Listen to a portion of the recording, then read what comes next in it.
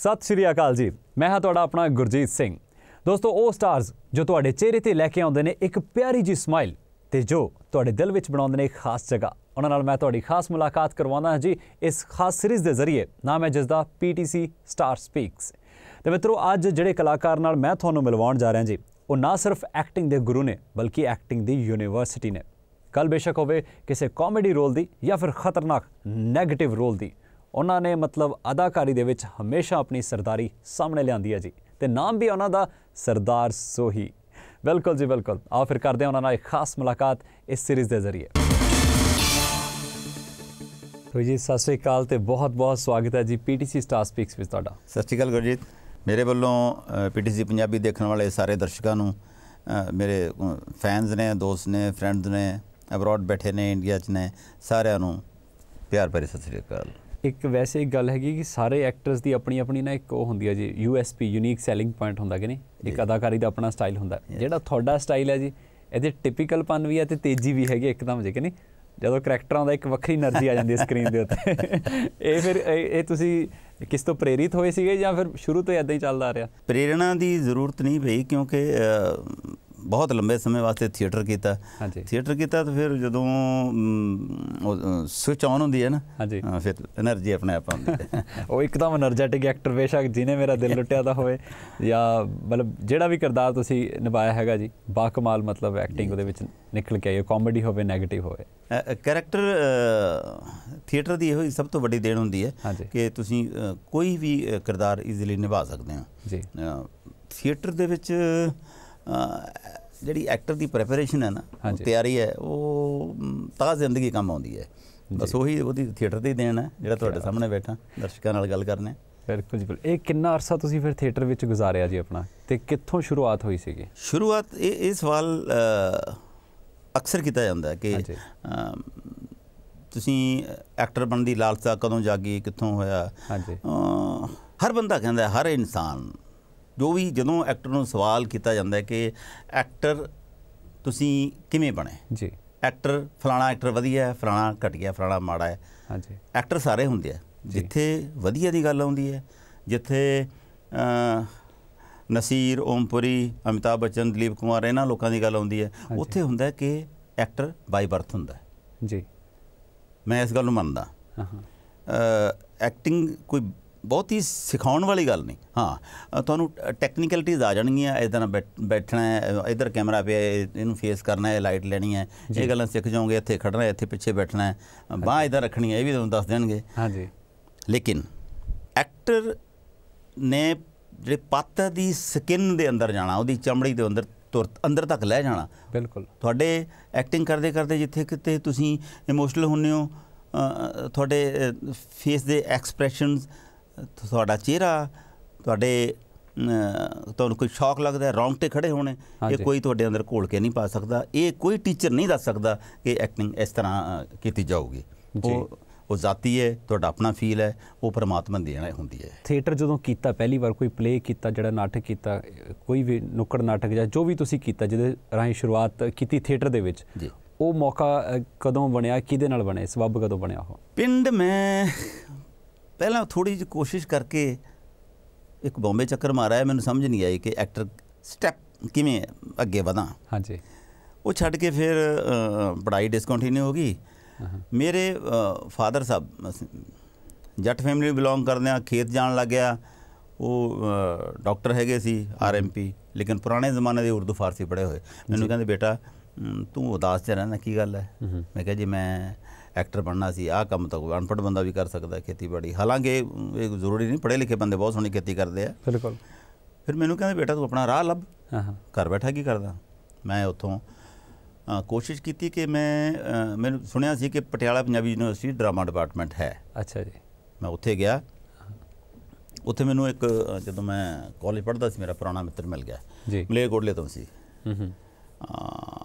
ਉਹ ਮੈਨੂੰ ਕਹਿੰਦਾ ਉਹ ਬਈ ਸੋਹੀ ਯਾਰ ਤੂੰ ਇੱਥੇ ਕਿਵੇਂ?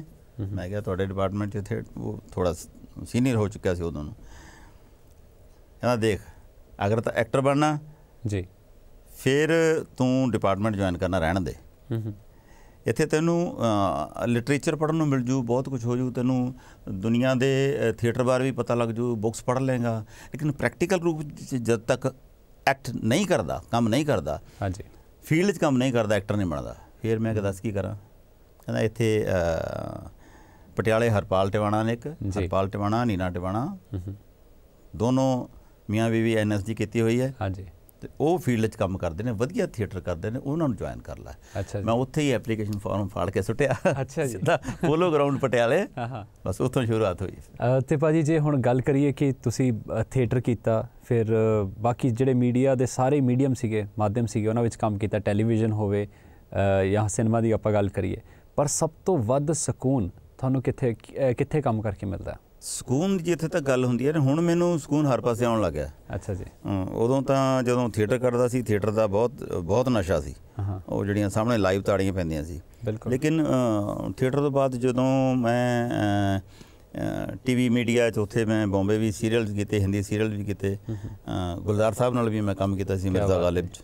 ਉੱਥੇ ਬੜੇ ਵਧੀਆ ਵਧੀਆ ਗੋਲਡੀ ਸਾਹਿਬ ਦੇਵਾਨੰਦ ਦੇ ਜੋ ਬ੍ਰਦਰ ਸੀ ਉਹਨਾਂ ਨਾਲ ਵੀ ਸੀਰੀਅਲ ਕੀਤਾ ਸੀ। ਤੋ ਉਹ ਇਹੋ ਜਿਹੇ ਲੋਕਾਂ ਨਾਲ ਕੰਮ ਕੀਤਾ। ਉਹ ਕਰਦੇ ਕਰਦੇ ਹੁਣ ਆ ਵੀ ਮੈਂ ਇੰਜੋਏ ਕਰਨ ਲੱਗ ਗਿਆ। ਸਿਨੇਮਾ। ਬਹੁਤ ਬਹੁਤ ਸਵਾਦ ਆਉਂਦਾ। ਕਿਉਂਕਿ ਇੱਥੇ ਜੋ ਬੰਦਿਸ਼ ਵੀ ਹੈ ਖੁੱਲ ਵੀ ਹੈ। ਹਾਂ ਹਾਂ। ਰੀਟੇਕ ਵੀ ਨੇ। ਹਾਂਜੀ। ਉੱਥੇ ਰੀਟੇਕ ਨਹੀਂ ਸੀ ਥੀਏਟਰ ਦੇ ਵਿੱਚ। ਵਾਕਈ। ਉੱਥੇ ਤਾਲੀਆਂ ਸਾਹਮਣੇ ਪੈਂਦੀਆਂ ਸੀ। ਹਾਂਜੀ। ਪਰ ਹੁਣ ਐਕਸਪੀਰੀਅੰਸ ਇਹਨਾਂ ਹੋ ਗਿਆ ਹੁਣ ਪਤਾ ਹੁੰਦਾ ਕਿ ਇੱਥੇ ਕੈਮਰਾ ਇੱਥੇ ਗੁਰਜੀਤ ਬੈਠਾ ਹੈ ਤੇ ਇਹ ਇਹ- ਇਹ ਇਹ ਜਦੋਂ ਟੈਕਨੀਕਲ ਸਮਝ ਆ ਜਾਂਦੀ ਹੈ। ਫਿਰ ਇਹਨੂੰ ਇੰਜੋਏ ਕਰਨ ਲੱਗ ਜਾਈਦਾ। ਜੀ। ਹੋਰ ਕੋਈ ਫ਼ਰਕ ਨਹੀਂ। ਲੋਕ ਕਹਿੰਦੇ ਕਿ ਥੀਏਟਰ ਦੀ ਐਕਟਿੰਗ ਜਾਂ ਸਿਨੇਮਾ ਦੀ ਐਕਟਿੰਗ ਕੋਈ ਬਹੁਤ ਵੱਡਾ ਫ਼ਰਕ ਹੈ ਫ਼ਰਕ ਨਹੀਂ ਤੁਹਾਨੂੰ ਪਤਾ ਹੋਣਾ ਚਾਹੀਦਾ ਕਿਹਦੇ ਵਾਸਤੇ ਗੱਲ ਕਰ ਰਹੇ ਜੀ। ਹੁਣ ਮੈਨੂੰ ਪਤਾ ਵੀ ਆਹ ਕੈਮਰਾ ਇੱਥੇ ਮੇਰੇ ਸਾਊਂਡ ਮਾਈਕ ਲੱਗਿਆ ਹੋਇਆ। ਮੈਨੂੰ ਬਹੁਤ ਜ਼ਿਆਦਾ ਉੱਚੀ ਚੀਖਣ ਦੀ ਲੋੜ ਨਹੀਂ ਬੋਲਣ ਦੀ ਲੋੜ ਨਹੀਂ। ਮੇਰੀ ਆਵਾਜ਼ ਇਹ ਫੜ ਰਿਹਾ ਸਾਨੂੰ ਥੀਏਟਰ ਵੇਲੇ ਸਾਨੂੰ ਹੁੰਦਾ ਸੀ। ਹਾਂਜੀ। ਇਹ ਪਹਿਲੀ ਸਿੱਖਿਆਈ ਹੁੰਦੀ ਸੀ ਕਿ ਲਾਸਟ ਰੋ ਉਹ ਉੱਪਰ। ਅੱਛਾ ਜੀ ਵੀ ਉੱਥੇ ਤੱਕ ਆਵਾਜ਼ ਪਹੁੰਚਣੀ ਚਾਹੀਦੀ ਹੈ। ਉੱਥੇ ਤੱਕ ਆਵਾਜ਼ ਜਾਣੀ ਚਾਹੀਦੀ ਹੈ। ਇਸੇ ਕਰਕੇ ਉਹ ਥੀਏਟਰ ਦੀ ਵੀ ਇੱਕ ਮੈਨੂੰ ਥੋੜੀ ਇਮਦਾਦ ਹੋ ਗਈ। ਆਵਾਜ਼ ਦੀ ਜਿਹੜੀ ਸਰਦਾਰ ਸੋਹੀ ਦੀ ਗੱਲ ਕਰਦੇ ਲੋਕ ਤਾਰੀਫ ਕਰਦੇ ਆ ਕਿ। ਆਵਾਜ਼ ਬਹੁਤ ਸੋਹਣੀ ਹੈ। ਤੇ ਉਹ ਥੀਏਟਰ ਦੇ ਵਿੱਚ ਮੈਂ ਲਗਾਤਾਰ ਸਵੇਰ ਤੋਂ ਉੱਠ ਕੇ ਸ਼ਾਮ ਸੌਣ ਤੱਕ ਮੈਂ ਮੇਰਾ ਖਿਆਲ ਹੈ 10 10 12 12 ਘੰਟੇ ਰੈਗੂਲਰ ਬੋਲਿਆ ਹੋਇਆ। ਅੱਛਾ ਜੀ। ਯੈਸ ਕੀ ਬਾਤ ਹੈ। ਦੋ ਕੁ ਸਾਲ ਤੋਂ ਬਾਅਦ ਦੋ ਕੁ ਸਾਲ ਤੋਂ ਬਾਅਦ ਮੈਂ ਟਿਵਾਣਾ ਸਾਹਿਬ ਦੇ ਜਿਵੇਂ ਹੁੰਦਾ ਕਿ ਸੀਨੀਅਰ ਹੋ ਗਿਆ ਜੀ। ਚੱਲ ਬੇਟਾ ਪਲੇ ਤਿਆਰ ਕਰਵਾ। ਤੇ ਇਹ ਮੁੰਡਿਆਂ ਦੀ ਰਿਹਰਸਲ ਕਰਵਾ ਦੇ ਕੁੜੀਆਂ ਦੀ ਰਿਹਰਸਲ ਕਰਵਾ ਦੇ। ਮੈਂ 15 15 20 20 ਮੁੰਡੇ ਕੁੜੀਆਂ ਨੂੰ ਇਕੱਲੇ ਨੇ ਸੰਭਾਲਿਆ। ਵਾਹ ਜੀ ਵਾਹ। ਤੇ ਉਹ ਜਿਹੜੀ ਉਹ ਜਿਹੜਾ ਬੋਲਣਾ ਸੀ ਉਹ ਕਈ ਵਾਰੀ ਇੰਨੇ ਐਗਜ਼ਰਟ ਹੋ ਜਾਂਦੇ ਸੀਗੇ ਮੈਨੂੰ ਮੈਡਮ ਟਿਵਾਣਾ ਜੀ ਕਹਿੰਦੇ ਵੀ ਸੋਹੀ ਤੂੰ ਇਹਨਾਂ ਕਿਉਂ ਬੋਲਦਾ? ਦੇਖ ਤੇਰੀ ਹਾਲਤ ਕੀ ਹੈ ਤੂੰ ਚੱਕਰ ਖਾ ਕੇ ਗਿਰ ਜਾਏਗਾ। ਅੱਛਾ ਜੀ। ਤੂੰ ਬੈਠ ਕੇ ਸਮਝਾ ਦਿਆ ਕਰ। ਆਹਾਂ ਮੈਂ ਕਿਹਾ ਜੀ ਇਹ ਮੇਰੇ ਕੋਲ ਹੁੰਦਾ ਨਹੀਂ। ਆਹਾਂ ਬੈਠ ਕੇ ਐਕਟਿੰਗ ਕਰਾਉਣ ਵਾਲੇ ਜਿਹੜੇ ਡਾਇਰੈਕਟਰ ਹੁੰਦੇ ਆ ਜੀ। ਉਹ ਕਦੇ ਕਿਸੇ ਨੂੰ ਸਮਝਾ ਨਹੀਂ ਸਕਦੇ। ਕੀ ਬਾਤ ਹੈ। ਮੈਂ ਖੁਦ ਉਹ ਕਰੈਕਟਰ ਕਰ ਕਰਕੇ ਵੀ ਨਵਿਆਂ ਨੂੰ ਦੱਸਦਾ ਹੁੰਦਾ ਸੀ ਸਾਰਿਆਂ ਨੂੰ ਮੁੰਡਿਆਂ ਨੂੰ ਵੀ ਕੁੜੀਆਂ ਨੂੰ ਵੀ ਕੁੜੀਆਂ ਬੜੀਆਂ ਹੱਸਦੀਆਂ ਹੁੰਦੀਆਂ। ਸਰ ਤੁਸੀਂ ਸਾਡੇ ਵਾਂਗ ਚੱਲ ਵੀ ਲੈਂਦੇ ਹੋ ਬੋਲ ਵੀ ਲੈਂਦੇ ਹੋ ਸਾਡੇ ਵਾਂਗ ਅਦਾਇਗੀ ਵੀ ਕਰ ਦਿੰਦੇ ਹੋ। ਹਾਂਜੀ। ਉਹ ਮੈਂ ਕਿ ਜਦੋਂ ਹੁਣ ਤੁਸੀਂ ਇਹ ਵੀ ਜਾਣਦੇ ਹੋ ਕਿ ਮੈਂ ਡਾਇਲੌਗਸ ਵੀ ਲਿਖ ਲੈਣਾ ਬਿਲਕੁਲ ਜੀ ਬਿਲਕੁਲ ਰਾਈਟਿੰਗ ਬਾ ਕਮਾਲ ਨਾਲੇ ਤੇ ਉਹ ਟਿਵਾਣਾ ਸਾਹਿਬ ਨਾਲ ਰਹਿੰਦੇ ਰਹਿੰਦੇ ਜਦੋਂ ਅਸੀਂ ਇੰਗਲਿਸ਼ ਪਲੇ ਦੀ ਜ਼ਿਆਦਾ ਜਿੰਨੇ ਵੀ ਐਨਐਸਡੀ ਵਾਲੇ ਆਏ ਉਹ ਇੰਗਲਿਸ਼ ਪਲੇਜ਼ ਪੰਜਾਬੀ ਚ ਕਰ ਰਹੇ ਆ, ਉਹ ਇਦਾਂ ਕਰਦੇ ਰਹੇ। ਕੁਝ ਹਿੰਦੀ ਦੇ ਵੀ ਕੀਤੇ ਅਸੀਂ। ਜੀ। ਵਿਜੇ ਤੇਂਦੁਲਕਰ ਦਾ ਪਲੇ ਅਸੀਂ ਕੀਤਾ ਪਾਹੀ ਦੇ ਜਾਤੀ 'ਚ ਜ਼ਾਤ ਹੀ ਪੁੱਛੋ ਸਾਧੂ ਕੀ ਪੰਜਾਬੀ 'ਚ ਕੀਤਾ ਸੀਗਾ ਪਲੇ। ਮੇਲਾ ਮੁੰਡੇ ਕੁੜੀਆਂ ਦਾ। ਉਹ ਉਹ ਲਿਖਦੇ ਲਿਖਦੇ ਉਹਦੇ ਨਾਲ ਬੈਠਦੇ ਬੈਠਦੇ ਹੌਲੀ ਹੌਲੀ ਮੈਂ ਰਾਈਟਰ ਵੀ ਬਣ ਗਿਆ ਡਾਇਲੌਗਸ ਦੀ ਸਮਝ ਆ ਗਈ। ਡਾਇਲੌਗ ਅੱਜ ਪਰਮਾਤਮਾ ਦੀ ਦਇਆ ਹੈ ਕਿ ਜਦੋਂ ਕੋਈ ਚੰਗਾ ਕੰਮ ਹੋਣਾ ਹੁੰਦਾ ਹੈ। ਜੀ। ਕਾਮੇਡੀ ਨੇ ਮੈਂ ਲਿਖੀ। ਹਾਂਜੀ। ਅਦਰਵਾਈਜ਼ ਜਿਹੜੀਆਂ ਮੈਂ ਚਾਰ ਪੰਜ ਫਿਲਮਾਂ ਲਿਖੀਆਂ ਨੇ ਉਹਦੇ ਸੋਹਣੀ ਤਾਰੀਫ ਹੋਈ ਆ। ਲੇਟੈਸਟ ਮੈਂ ਲਿਖੀ ਸੀ ਹਾਣੀ। ਜੀ ਬਿਲਕੁਲ ਬਹੁਤ ਬਾ ਕਮਾਲ ਬਿਲਕੁਲ। ਹਾਣੀ ਦੇ ਵਿੱਚ ਮੈਨੂੰ ਬਹੁਤ ਵਾਵਾ ਮਿਲੀ। ਹਾਂਜੀ ਹਾਂ। ਇਹ ਬਹੁਤ ਸੋਹਣੀ ਲਿਖੀ ਹੈ। ਇੱਕ ਮੈਨੂੰ ਪ੍ਰੋਡਿਊਸਰ ਦਾ ਫੋਨ ਆਇਆ ਸੋਈ ਸਾਹਿਬ ਹਾਂਜੀ। ਫਿਲਮ ਕਰ ਰਹੇ ਆ ਹਾਂਜੀ ਮੈਂ ਦੱਸੋ। ਹਾਂ ਇੱਕ ਸੇਵਾ ਲੈਣੀ ਸੀ। ਜੀ ਹੁਕਮ ਕਰੋ ਕੀ ਕਰਨਾ ਹੈ। ਡਾਇਲੌਗ ਲਿਖਵਾਉਣਾ ਤੁਹਾਡੇ ਕੋਲੋਂ। ਮੈਂ ਕਿਹਾ ਜੀ। ਲਿਖ ਦੂੰਗਾ। ਕਿੰਨੇ ਦਿਨਾਂ 'ਚ ਲਿਖ ਕੇ ਦਿਓਗੇ? ਮੈਂ ਭਾਜੀ ਬੁਰਾ ਨਾ ਮੰਨਿਓ ਸੌਰੀ ਮੈਂ ਤੁਹਾਡੀ ਫਿਲਮ ਨਹੀਂ ਲਿਖ ਸਕਦਾ। ਅੱਛਾ ਜੀ। ਇਹ ਕੋਈ ਮੁਨੀਮਾ ਵਾਲਾ ਕੰਮ ਥੋੜਾ ਹੀ ਹੈ। ਸਹੀ ਗੱਲ ਹੈ ਜੀ। ਰਾਈਟਿੰਗ ਕੱਲਾ ਕੱਲਾ ਪਾਤਰ ਰਾਈਟਰ ਜਿਉਂਦਾ ਹੈ। ਪਹਿਲਾਂ ਮੇਰੀ ਗੱਲ ਹੋ ਰਹੀ ਸੀ ਹੁਣ ਕੀ ਲਿਖ ਰਹੇ ਹੋ? ਹਾਂਜੀ ਹਾਂ ਹਾਂ ਹਾਂ। ਤਾਂ ਮੈਂ ਕਿਹਾ ਵੀ ਨਹੀਂ ਆ। ਅੱਜ ਕੱਲ ਮੈਂ ਐਕਟਿੰਗ ਜ਼ਿਆਦਾ ਇੰਜੋਏ ਕਰਦਾ ਲਿਖਣ ਦਾ ਸਮਾਂ ਬਹੁਤ ਚਾਹੀਦਾ ਹੁੰਦਾ। ਉਹਨਾਂ ਸਮਾਂ ਅੱਜ ਕੱਲ ਜ਼ਿਆਦਾ ਤੇਜ਼ੀ ਹੋ ਗਈ। ਵਾਕਈ ਸਹੀ ਗੱਲ ਉਹ ਤੇਜ਼ੀ ਦੇ ਹਿਸਾਬ ਨਾਲ ਮੈਂ ਨਹੀਂ ਲਿਖਦਾ। ਜੋ ਡਿਵੋਸ਼ਨ ਸਿਨੇਮਾ ਨੇ ਸਿਖਾਈ ਹੈ ਉਹ ਹੁਣ ਤੱਕ ਕੰਮ ਆ ਰਹੀ ਹੈ। ਜੀ। ਮੈਂ ਇੱਥੇ ਆਇਆ ਡਾਇਰੈਕਟਰ ਸਾਹਿਬ ਇੱਥੇ ਸਾਰੇ ਕਹਿੰਦੇ ਸੀ ਸੋਈ। ਸਾਹਿਬ 11 ਵਜੇ ਦਾ ਟਾਈਮ ਸੀ ਪਹਿਲਾਂ ਹੀ ਆ ਗਏ। ਹਾਂਜੀ, ਹਾਂ। ਉਹ ਉਹ ਥੀਏਟਰ ਦੀ ਦੇਣ ਹੈ। ਇੱਥੇ ਖੜਾ ਹੀ ਭੌਂਕੀ ਜਾਵੇਂਗਾ। ਗੱਲ ਤਾਂ ਦੱਸ ਕੀ ਹੈ? ਓਏ ਆਪਦੀ ਧੀ ਦੇਣ ਲਈ ਮੇਰੇ ਹੀ ਚੀਜ਼ਾਂ ਟੱਕਰਿਆ ਸੀ ਤੈਨੂੰ। ਗੱਲ ਸੁਣ। ਪੂਰਾ ਮਾਰ ਕੇ ਦੂਰਾ ਕਰ ਦੂੰ ਤੈਨੂੰ। ਨਹੀਂ ਬਿਲਕੁਲ ਸੱਚੀ ਗੱਲ ਹੈ ਡਿਸਪਲਿਨ ਵਿੱਚ ਰਹਿ ਕੇ ਜਿਹੜਾ ਕੰਮ ਕਰਨ ਦਾ ਲੁਤਫ ਆਉਂਦਾ ਜੀ ਮੇਰੇ ਖਿਆਲ 'ਚ। ਉਹਦਾ ਨਜ਼ਾਰਾ ਬੰਦਾ ਇਦਾਂ ਨਹੀਂ ਲੈ ਸਕਦਾ ਗੱਲਾਂ ਕਰਕੇ ਨਾ। ਮੈਂ ਟਿਵਾਣਾ ਸਾਹਿਬ ਨੂੰ ਜੁਆਇਨ ਕੀਤਾ। ਪਟਿਆਲੇ। ਆਵਾਜ਼ ਦੀ ਮੈਂ ਗੱਲ ਕੀਤੀ ਜੀ। ਉੱਥੇ ਸਾਡਾ ਪਹਿਲਾ ਪਲੇ ਸੀ ਹਾਂ ਹਿੰਦ ਦੀ ਚਾਦਰ। ਅੱਛਾ ਜੀ। 1975 ਚ 300 ਸਾਲ ਹੋ ਗਏ ਸੀ ਗੁਰੂ ਸਾਹਿਬ ਦੀ ਸ਼ਹੀਦੀ ਨੂੰ। ਨੌਵੇਂ ਪਾਤਸ਼ਾਹ ਗੁਰੂ ਤੇਗ ਬਹਾਦਰ ਜੀ। ਤੇ ਉਹਨਾਂ ਦਾ ਪਲੇ ਸੀ ਕੀਤਾ ਹਿੰਦ ਦੀ ਚਾਦਰ। ਹੁਣ ਉੱਥੇ ਸਾਡੇ ਕੋਲੇ ਟਿਵਾਣਾ ਸਾਹਿਬ ਦਾ ਆਫਿਸ ਸੀ ਜਿਹੜਾ ਇੱਕ ਛੋਟਾ ਜਿਹਾ ਰੂਮ। ਇੱਕ ਸਾਈਡ ਤੇ ਇੱਕ ਛੋਟੀ ਜਿਹੀ ਸਫ ਜੀ ਲਟਕਦੀ ਹੁੰਦੀ ਸੀ ਤੇ ਉੱਥੇ ਅਸੀਂ ਥੋੜੀ ਜਿਹੀ ਜਗ੍ਹਾ ਉੱਥੇ ਬੈਠ ਕੇ ਰਿਹਰਸਲ ਕਰਦੇ ਹੁੰਦੇ। ਜੀ। ਬਾਹਰ ਇੱਕ ਛੋਟਾ ਜਿਹਾ ਥੜਾ ਜਿਹਾ ਸੀ ਉੱਥੇ। ਬਾਹਰ ਸਾਹਮਣੇ ਪੋਲੋ ਗਰਾਊਂਡ ਪਟਿਆਲਾ ਉੱਥੇ ਮੁੰਡੇ ਕੁੜੀਆਂ ਖੇਡਦੇ ਨੇ ਸਪੋਰਟ ਦਾ ਕੋਈ ਰੇਸਾਂ ਲਾ ਰਿਹਾ ਕੋਈ ਹਾਕੀ ਖੇਡਦਾ ਕੋਈ ਫੁੱਟਬਾਲ ਖੇਡਦਾ। ਪੋਲੋ ਗਰਾਊਂਡ ਤੇ ਰਿਹਰਸਲ ਕਰ ਰਹੇ ਹਾਂ ਉੱਚ ਵਿੱਚ ਡਾਇਲਾਗ ਬੋਲਦੇ ਆ ਕੱਲਾ ਖੜਾ ਬੰਦਾ ਹੱਥ ਮਾਰੀ ਜਾਂਦਾ ਹੈ ਉੱਥੇ ਕੋਈ ਭਾਈ ਜੈਤੇ ਦਾ ਰੋਲ ਕਰ ਰਿਹਾ। ਹੈ ਕੋਈ ਕਾਜ਼ੀ ਉਲ ਕਜ਼ਾਦ ਦਾ ਰੋਲ ਕਰ ਰਿਹਾ ਉਹ ਕਰ ਰਿਹਾ। ਉਹ ਕਰਦਾ ਤਾਂ ਉੱਚੀ ਉੱਚੀ ਬੋਲਦੇ ਸੀ ਇਕੱਲੇ ਖੜ ਖੜ ਕੇ ਹੱਥ ਮਾਰਦੇ ਸੀ ਉਹ ਜਿਹੜੇ ਸਪੋਰਟਸ ਵਾਲੇ ਮੁੰਡੇ ਕੁੜੀਆਂ ਦੇਖਦੇ ਹੁੰਦੇ। ਉਹ ਦੇਖਦੇ ਯਾਰ ਇਹ ਬੰਦਾ ਇਕੱਲਾ ਹੀ ਕਿਵੇਂ ਖੜਾ ਕੀ ਗੱਲਾਂ ਕਰੀ ਜਾਂਦਾ? ਹਾਂਜੀ ਉੱਥੇ ਸਭ ਤੋਂ ਵੱਡੀ ਸਮੱਸਿਆ ਮੈਨੂੰ ਪਿੰਡੋਂ ਮੈਂ ਗਿਆ ਉੱਥੇ ਰਹੂੰ ਕਿਹਦੇ ਕੋਲੇ? ਉੱਥੇ ਸਾਡੇ ਪਿੰਡ ਦੀ ਇੱਕ ਵਿਚਾਰੀ ਕੁੜੀ ਸੀ ਗਰੀਬਾਂ ਜਿਹਾਂ ਦੀ। ਉਹ ਸਾਡੇ ਮੇਰੇ ਮਦਰ ਬੀਬੀ ਜੀ ਨੇ ਉਹ- ਉਹਦਾ ਵਿਆਹ ਉਹ ਕੀਤਾ ਸੀਗਾ। ਜੀ। ਉਹਨਾਂ ਕੋਲੇ ਮੈਂ ਰਾਤ ਨੂੰ ਰਹਿਣ ਲੱਗ ਗਿਆ। ਹਾਂ ਭੁਪਿੰਦਰ ਡੇਅਰੀ ਫਾਰਮ ਉੱਥੇ। ਅੱਛਾ ਜੀ। ਉੱਥੇ ਰਹਿਣ ਲੱਗਿਆ ਤਾਂ ਮੈਂ ਆਪਣੇ ਪਲੇ ਦੀ ਤਿਆਰੀ ਕਰ ਰਿਹਾ। ਹੂੰ ਹੂੰ। ਰਾਤ ਨੂੰ ਉਹਨਾਂ ਦੇ ਘਰੋਂ ਬਾਹਰ ਨਿਕਲ ਜਾਣਾ। ਉੱਥੇ ਜਿੱਥੇ ਉਹਨਾਂ ਦਾ ਸ਼ੈਡ ਸੀ ਗਊਆਂ ਦੇ। ਉੱਥੇ ਲਾਈਟ ਲੱਗੀ ਹੁੰਦੀ ਪੋਲ ਦੇ ਥੱਲੇ ਜਾ ਕੇ ਉੱਥੇ ਸਕ੍ਰਿਪਟ ਫੜਨੀ ਉੱਚੀ ਉੱਚੀ ਬੋਲ ਕੇ ਰਿਹਰਸਲ ਕਰਨੀ। ਉਹ ਜਿਹੜੇ ਭਈਏ ਵਿਚਾਰੇ ਉੱਥੇ ਕੰਮ ਕਰਦੇ ਸੀ ਉਹਨਾਂ ਨੇ ਜਾ ਕੇ ਉਹ ਉਹ ਕੁੜੀ ਦੇ ਘਰ ਵਾਲੇ ਸਰਦਾਰ ਨੂੰ ਉਹਨੂੰ ਅਰੇ ਭਈ ਇਹ ਜੋ ਆਪਕੇ ਯਹਾਂ ਬਾਹੂ ਰਹਤੇ ਹੈ वो थोड़ा हिले हुए हैं क्या अकेले बातें करते रहते हैं ਉਹ ਬਹੁਤ ਕੱਲੇ ਹੱਸਿਆ ਉਹ। ਲੱਗੇ ਹੋਏ ਨੇ, ਸੋ ਵਾਕਈ ਸਾਡਾ ਜਿਹੜਾ ਪ੍ਰੋਫੈਸ਼ਨ ਉਹ ਹਿੱਲੇ ਹੋਏ ਲੋਕਾਂ ਦਾ ਹੈ। ਦਿਮਾਗੀ ਤੌਰ ਤੇ ਕਹਿੰਦੇ ਹਿੱਲੇ ਹੋਏ ਹੈ ਵਾਕਈ ਜੀ, ਮੈਂ ਵਾਕਈ ਕਿਹਾ, ਸਹੀ ਗੱਲ ਉਹ- ਹੈ। ਉਹ ਫਿਰ ਉਹਨੇ ਸਮਝਾਇਆ ਕਹਿੰਦੇ ਹਿੱਲੇ ਹੋਏ ਨਹੀਂ ਹੈ ਉਹ ਐਕਟਰ ਹੈ ਵੈਲ ਦੋਸਤੋ ਅ, ਸਰਦਾਰ ਸੋਹੀ ਜੀ ਦਾ ਐਕਸਪੀਰੀਅੰਸ ਇੱਕ ਕਲਾਸ ਦੇ ਤੌਰ ਤੇ ਆਪਾਂ ਇੱਥੇ ਅੱਜ ਇਹਦਾ ਆਨੰਦ ਮਾਣ ਰਹੇ ਹਾਂ ਜੀ ਇਸੇ ਤਰ੍ਹਾਂ ਜਾਰੀ ਰਹੇਗਾ ਜੀ ਵੇਲਾ ਇੱਕ ਬ੍ਰੇਕ ਦਾ ਹੋ ਗਿਆ ਨਿੱਕੀ ਜੀ ਬ੍ਰੇਕ ਲੈਣੇ ਫਿਰ ਮਿਲਦੇ ਹਾਂ ਜੀ ਆਪਾਂ ਥੀਏਟਰ 'ਚ ਐਕਟ ਕਰਨਾ ਅਲੱਗ ਗੱਲ ਹੈ ਹਾਂਜੀ। ਉਦੋਂ ਸਾਡੀ ਪਾਤਰਾਂ ਨਾਲ ਸਿੱਧੀ ਇਨਵੋਲਵਮੈਂਟ ਹੁੰਦੀ। ਜਿਸ ਮੁਕਾਮ ਤੇ ਪਹੁੰਚ ਜਾਂਦਾ ਸੋਹੀ ਹਿੰਦੀ ਸਿਨੇਮਾ 'ਚ ਉਹ ਉਹਨੂੰ ਉੱਥੇ ਮੁਕਾਮ ਨਹੀਂ ਮਿਲਿਆ। ਬ੍ਰੇਕ ਤੋਂ ਬਾਅਦ ਇੱਕ ਵਾਰ ਫਿਰ ਤੁਹਾਡਾ ਬਹੁਤ ਬਹੁਤ ਸਵਾਗਤ ਹੈ PTC ਸਟਾਰ ਸਪੀਕਸ ਦੇ ਵਿੱਚ। ਤੇ ਅੱਜ ਮੈਂ ਤੁਹਾਡੀ ਮੁਲਾਕਾਤ ਕਰਵਾ ਰਿਹਾ ਜੀ ਸਰਦਾਰ ਸੋਹੀ ਜੀ ਦੇ ਨਾਲ। ਸੋਹੀ ਜੀ ਤੁਸੀਂ ਜਿੱਦਾਂ ਆਪਾਂ ਗੱਲ ਕਰ ਰਹੇ ਸੀਗੇ ਪਹਿਲਾਂ ਤੁਸੀਂ ਜ਼ਿਕਰ ਕੀਤਾ ਕਿ ਮੈਂ ਬਾਲੀਵੁੱਡ ਵਿੱਚ ਮਤਲਬ ਬੰਬੇ ਵਿੱਚ ਰਿਹਾ ਹੈਗਾ ਉੱਥੇ ਕਾਫੀ ਵੱਡੀਆਂ ਵੱਡੀਆਂ ਹਸਤੀਆਂ ਨਾਲ ਤੁਹਾਡਾ ਤਾਲੁਕ ਰਿਹਾ ਹੈਗਾ। ਗੁਲਜ਼ਾਰ ਜੀ ਦਾ ਨਾਂ ਤੁਸੀਂ ਲਿਆ ਸੀਗਾ ਓਮਪੁਰੀ ਜੀ ਨਾਲ ਤੁਸੀਂ ਕੰਮ ਕੀਤਾ। ਫਿਰ ਉਹ ਹਰੇਕ ਦਾ ਸੁਪਨਾ ਹੁੰਦਾ ਕਿ ਮੈਂ ਬਾਲੀਵੁੱਡ ਦੇ ਵਿੱਚ ਨਜ਼ਰ ਆਵਾਂ। ਪਹਿਲਾ ਸੁਪਨਾ ਹਰ ਕੋਈ ਸ਼ਾਇਦ ਇਹੀ ਦੇਖਦਾ। ਤਾਂ ਤੁਸੀਂ ਬਾਲੀਵੁੱਡ ਬੰਬੇ ਵਿੱਚ ਹੁੰਦੇ ਹੋਣ ਦੇ ਬਾਵਜੂਦ ਵੀ ਫਿਰ ਪੰਜਾਬੀ ਫਿਲਮਾਂ ਵੱਲ ਰੁਖ ਮੋੜਿਆ। ਇਹਦਾ ਕੀ ਕਾਰਨ ਸੀਗਾ? ਸ਼ਾਇਦ ਮੈਂ ਕੁਝ ਜ਼ਿਆਦਾ ਮੈਚੁਰ ਹੋ ਕੇ ਗਿਆ ਇੱਥੋਂ। ਅੱਛਾ ਜੀ। ਥੀਏਟਰ ਦੇ ਵਿੱਚ ਇੰਨੇ ਸਾਲ ਮੈਂ 75 ਤੋਂ 87 ਤੱਕ 12 ਸਾਲ ਰੈਗੂਲਰ ਥੀਏਟਰ ਕੀਤਾ। ਉਹਦੇ ਦਰਮਿਆਨ ਦੋ ਫਿਲਮਾਂ ਕੀਤੀਆਂ ਉਹ ਵੀ ਹਰਪਾਲ ਟਿਵਾਣਾ ਜੀ ਦੀਆਂ। ਪਹਿਲੀ ਸੀ ਲੌਂਗ ਦਾ ਲਿਸ਼ਕਾਰਾ ਦੂਜੀ ਦੀਵਾ ਬੜੇ ਸਾਰੀ ਹਾਂਜੀ। ਰਾਤ। ਇਹਨੇ ਲੰਬੇ ਸਮੇਂ ਵਾਸਤੇ ਥੀਏਟਰ ਕਰਨ ਤੋਂ ਬਾਅਦ ਜਦੋਂ ਇੱਕ ਆਰਟਿਸਟ ਨੂੰ ਇਹ ਲੱਗਦਾ ਕਿ ਮੈਂ ਆ ਕੁਝ ਸਿੱਖਿਆ ਹੋਇਆ। ਹਾਂਜੀ। ਇੰਨਾ ਕੁਝ ਕੀਤਾ ਹੋਇਆ। ਇੰਨਾ ਕੁਝ ਕਰਕੇ ਜਦੋਂ ਬੰਦਾ ਕਈ ਵਾਰੀ ਹੋ ਸਕਦਾ ਸਭ ਨਾਲ ਨਾ ਹੁੰਦਾ ਹੋਵੇ। ਮੇਰੇ ਨਾਲ ਇਹ ਹੋਇਆ ਕਿ ਇੱਥੇ ਵੀ ਮੇਰਾ ਸੁਭਾਅ ਥੋੜਾ ਜਿਹਾ ਹੁਣ ਤਾਂ ਮੈਂ ਬੋਲਣਾ ਸ਼ੁਰੂ ਕਰਤਾ ਮੈਨੂੰ ਇਹ ਇੰਟਰਵਿਊਜ਼ ਦੇਣੀਆਂ ਜਾਂ। ਮਾਈਕ ਫੜ ਕੇ ਬੋਲਣਾ ਇਹ ਨਹੀਂ ਸੀ ਆਉਂਦਾ। ਅੱਛਾ ਜੀ। ਥੀਏਟਰ 'ਚ ਐਕਟ ਕਰਨਾ ਅਲੱਗ ਗੱਲ ਹੈ। ਉਦੋਂ ਸਾਡੀ ਪਾਤਰਾਂ ਨਾਲ ਸਿੱਧੀ ਇਨਵੋਲਵਮੈਂਟ ਹੁੰਦੀ ਹੈ। ਬਿਲਕੁਲ ਜੀ। ਕਰੈਕਟਰ ਕਰੈਕਟਰ ਨਾਲ ਗੱਲ ਕਰ ਰਿਹਾ ਉਹ। ਇਟਸ ਓਕੇ ਉਹ ਹੋ ਜਾਂਦਾ ਪਰ ਉਹ ਤੁਸੀਂ ਉਹ ਛੱਡ ਕੇ ਸਿੱਧੀ ਆਡੀਅנס ਨਾਲ ਗੱਲ ਕਰਨੀ ਮਾਈਕ ਫੜ ਕੇ ਉਹ। ਮੁਸ਼ਕਿਲ ਸੀ ਇਸ ਤਰ੍ਹਾਂ ਦੇ ਇੰਟਰਵਿਊ ਦੇਣੇ ਸਾਡੇ ਵਾਸਤੇ ਮੁਸ਼ਕਿਲ ਸੀ। ਉਹ ਐਕਸਪੀਰੀਅੰਸ ਨਾਲ ਹੌਲੀ ਹੌਲੀ ਆ ਗਿਆ ਤਾਂ ਉੱਥੇ ਮੈਂ ਬੰਬੇ ਗਿਆ ਤਾਂ ਉਹ ਜੋ ਹੁੰਦਾ ਨਾ ਕਿ ਤੁਸੀਂ ਫੋਟੋਗ੍ਰਾਫ ਦਾ ਥੈਲਾ ਭਰਿਆ ਹੋਇਆ। ਮੋਢੇ ਪਾ ਕੇ ਜਗ੍ਹਾ ਜਗ੍ਹਾ ਪ੍ਰੋਡਿਊਸਰਾਂ ਕੋਲੇ ਤੁਰੇ ਫਿਰਦੇ ਹੋ।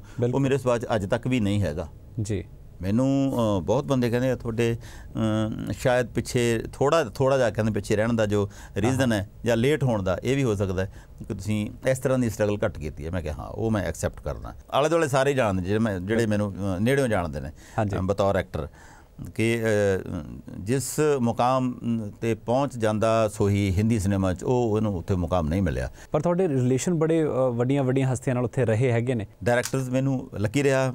ਮੈਨੂੰ ਕੁਝ ਪੰਜਾਬੀ ਦੇ ਵਧੀਆ ਐਕਟਰ ਸੀਗੇ ਯਸ਼ਪਾਲ ਸ਼ਰਮਾ ਸਾਹਿਬ। ਉਹਨਾਂ ਨੇ ਮੈਨੂੰ ਗੁਲਜ਼ਾਰ ਸਾਹਿਬ ਨਾਲ ਮੇਰੀ ਮੁਲਾਕਾਤ ਕਰਵਾਤੀ।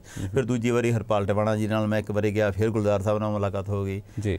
ਫਿਰ ਜਦੋਂ ਮੈਂ ਬੰਬੇ ਸ਼ਿਫਟ ਹੋਇਆ ਉਦੋਂ ਫਿਰ ਗੁਲਜ਼ਾਰ ਸਾਹਿਬ ਲੌਂਗ ਦਾ ਲਿਸ਼ਕਾਰਾ ਕਰਕੇ ਜਗਜੀਤ ਸਿੰਘ 뮤직 ਡਾਇਰੈਕਟਰ ਉਹਨਾਂ ਨਾਲ ਮੇਰਾ ਬੜਾ ਸਨੇਹ ਸੀਗਾ। ਜੀ। ਗੁਲਜ਼ਾਰ ਸਾਹਿਬ ਨਾਲ ਮੁਲਾਕਾਤ ਹੋਈ ਓਮਪੁਰੀ ਸਾਹਿਬ ਨਾਲ ਮੈਂ ਲੌਂਗ ਦਾ ਲਿਸ਼ਕਾਰਾ 'ਚ ਕੰਮ ਕੀਤਾ ਸੀ। ਉਹ ਮੇਰੇ ਚੰਗੇ ਮਦਦਗਾਰ ਸਾਬਤ ਹੋਏ। ਮੈਂ ਬੰਬੇ ਤੋਂ ਜਦੋਂ ਉੱਥੇ ਗਿਆ ਸ਼ੁਰੂ 'ਚ ਜਾ ਕੇ 2 ਮਹੀਨੇ ਮੈਂ ਓਮਪੁਰੀ ਸਾਹਿਬ ਦੇ ਘਰ ਹੀ ਠਹਿਰਿਆ। ਅੱਛਾ ਜੀ।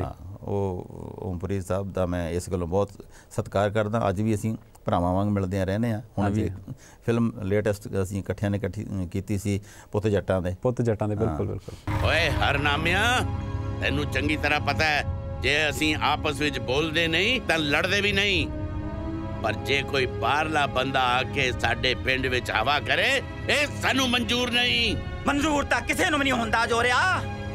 ਪਰ ਜਿਹੜੀਆਂ ਅੱਜ ਗੱਲਾਂ ਹੋਈਆਂ ਨੇ ਨਾ ਇਹ ਜਮੇ ਬਰਦਾਸ਼ਤ ਤੋਂ ਬਾਹਰ ਨੇ ਜਮੇ ਹੀ। ਅੱਜ ਤਾਂ ਇੱਕ ਪਾਸਾ ਹੋ ਕੇ ਰਹੂਗਾ। ਉਹ ਜਿਹੜੇ ਲਿੰਕ ਸੀਗੇ ਉੱਥੇ ਮੈਨੂੰ ਇੱਕਦਮ ਸੌਰੀ ਯਾਦ ਹੈ ਵੀ ਜਿਹੜੇ ਉਹ ਲਿੰਕ ਸੀਗੇ ਆਪਾਂ ਕਹਿੰਦੇ ਨਾ ਵੀ ਬੰਬੇ ਤਾਂ ਇੱਕ ਲਿੰਕ ਬਹੁਤ ਕੰਮ ਆ ਜਾਂਦਾ। ਬੰਦੇ ਕਈ ਵਾਰ ਇਹ ਸੋਚ ਕੇ ਇੱਥੋਂ ਜਾਂਦੇ ਨੇ ਕਿ ਨਹੀਂ ਜਾਂ ਕੋਈ ਨਵਾਂ ਮੁੰਡਾ ਉਹ ਕਹਿੰਦਾ ਯਾਰ ਇੱਕ ਲਿੰਕ ਹੋਣਾ ਚਾਹੀਦਾ। ਤੁਹਾਡੇ ਤਾਂ ਕਾਫੀ ਸੀਗੇ। ਮੈਂ ਉਹੀ ਉਹੀ ਗੱਲ ਕਹੀ ਨਾ। ਮੈਂ ਲਿੰਕ ਜਿਹੜੇ ਹੁੰਦੇ ਨਾ ਕੈਸ਼ ਕਰਨ ਦਾ ਸੁਭਾਅ ਹੀ ਨਹੀਂ ਸੀ। ਸੁਭਾਅ ਨਹੀਂ ਰੱਖਿਆ ਰਾਈਟ ਸੁਭਾਅ ਨੇਚਰ ਹੁੰਦੀ ਹੈ। ਮੇਰਾ ਸੁਭਾਅ ਨਹੀਂ ਸੀ। ਕਿ ਮੈਨੂੰ ਮੇਰੇ ਕੁਲੀਗ ਸੀ ਗਿਰਜਾ ਸ਼ੰਕਰ ਹਾਂਜੀ। ਉਹ 4 ਸਾਲ ਥੀਏਟਰ ਅਸੀਂ ਇਕੱਠਿਆਂ ਨੇ ਕੀਤਾ ਉਹ ਚਾਰ ਉਹ 4 ਸਾਲ ਥੀਏਟਰ ਕਰਕੇ ਛੱਡ ਗਏ। ਮੈਂ ਕੀਤਾ 12 ਸਾਲ। ਉਹ ਗਏ ਜਾਣਸਾਰ ਰਾਜ ਬੱਬਰ ਸਾਹਿਬ ਨੂੰ ਮੁਲਾਕਾਤ ਹੋ ਗਈ ਸੀ। ਉਹਨਾਂ ਨੇ ਅੱਗੇ ਬੀਆਰ ਕੈਂਪ 'ਚ ਉਹਨਾਂ ਨੂੰ ਵਾੜਤਾ ਉੱਥੇ ਉਹਨਾਂ ਨੇ ਸੀਰੀਅਲ ਵੀ ਮਹਾਭਾਰਤ ਕਰ ਲਿਆ ਉਹ ਉਸ। ਤਰ੍ਹਾਂ ਦੇ। ਤੇ ਉਹ ਲੇਕਿਨ ਮੇਰੀ ਨੇਚਰ 'ਚ ਨਹੀਂ ਸੀ ਕਿ ਮੈਂ ਹਰ ਰੋਜ਼ ਰਾਜ ਬੱਬਰ ਸਾਹਿਬ ਦੇ ਘਰ ਜਾ ਕੇ ਮਿਲਾਂ। ਭਾਜੀ ਮੈਨੂੰ ਕੰਮ ਦਵਾਓ। ਉਹ ਉਸ ਕਰਕੇ ਸ਼ਾਇਦ ਇਹ ਗੱਲਾਂ ਹੋਈਆਂ ਨੇ। ਓਕੇ ਬਾਕੀ ਜਿਹੜਾ ਹੁੰਦਾ ਕਿ ਤੁਸੀਂ ਕਿਹੜੇ ਸਕੂਲ ਚੋਂ ਗੁਜ਼ਰੇ ਹੋ? ਹਾਂਜੀ। ਕਿਹੜੀਆਂ ਕਿਹੜੀਆਂ ਹਸਤੀਆਂ ਨਾਲ ਮਿਲੇ ਹੋ? ਕਿਹਨਾਂ ਦਾ ਪ੍ਰਭਾਵ ਤੁਹਾਡੇ ਤੇ ਹੈ? ਉਹ ਜ਼ਿੰਦਗੀ 'ਚ ਬਹੁਤ ਵੱਡਾ ਤੁਹਾਡੇ ਤੇ ਇੰਪੈਕਟ ਛੱਡ ਕੇ ਜਾਂਦਾ। ਬਿਲਕੁਲ ਸਹੀ ਗੱਲ ਹੈ ਐਜ਼ ਐਨ ਐਕਟਰ ਵੀ ਤੁਹਾਡੀ ਉਹ ਟੋਟਲ ਜਿਹੜੀ ਤੁਹਾਡੀ ਪਰਸਨੈਲਿਟੀ ਹੁੰਦੀ ਹੈ ਉਹਦੇ ਤੇ ਵੀ ਛੱਡ ਕੇ ਜਾਂਦਾ। ਉਹ ਉਹ ਮੈਂ ਸਾਰੀ ਜਿਹੜੀ ਲੋਕ ਕਹਿੰਦੇ ਇਹ ਪਰਪੱਕ ਕਲਾਕਾਰ ਹੈ ਉਹ ਉਹ- ਉਹਦੀ ਸਾਰੀ ਦੇਣ ਇਹੀ ਹੈ ਕਿ ਮੈਂ ਐਡੇ ਐਡੇ ਵੱਡੇ ਬੰਦਿਆਂ ਨਾਲ ਵੀ ਛੋਟਾ ਛੋਟਾ ਕੰਮ ਕੀਤਾ ਹੈ, ਲੇਕਿਨ ਮੈਂ ਗ੍ਰਹਿਣ ਬਹੁਤ ਕੀਤਾ ਉੱਥੋਂ ਕੀ ਬਾਤ ਹੈ ਜੀ ਮੈਂ ਅ, ਗੁਲਜ਼ਾਰ ਸਾਹਿਬ ਨਾਲ ਅਮ, ਮਿਰਜ਼ਾ ਗਾਲਿਬ ਕੀਤਾ ਜੀ ਜ਼ਬਾਨ ਜਿਹੜੀ ਹੈ ਅ, ਮੈਂ ਪਹਿਲਾਂ ਦੱਸਿਆ ਸੀ ਹਾਂਜੀ। ਪਾਪਾ ਉਰਦੂ ਫਾਰਸੀ ਪੜ੍ਹੇ ਹੋਏ ਸੀ ਜੀ। ਉਹਨਾਂ ਕਰਕੇ ਉਰਦੂ ਮੇਰਾ ਬਹੁਤ ਸਹੀ ਸੀ ਹਾਂਜੀ ਜਦੋਂ ਮੈਂ ਗੁਲਜ਼ਾਰ साहब ਕੋਲ ਗਿਆ ਮੈਨੂੰ ਕਹਿੰਦੇ अम, सो ये कि- एक, एक किरदार है भाई आप अम, दिल्ली की इंटीरियर दिल्ली की जो अम, ज़बान है हाँ उर्दू जी। वैसा है कुछ अ, ओके।